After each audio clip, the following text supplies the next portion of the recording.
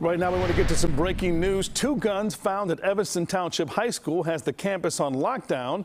The people involved were not certain if they're students are currently detained by Evanston police. Officers say no shots have been fired, and right now, this is not, it is not an active shooter situation.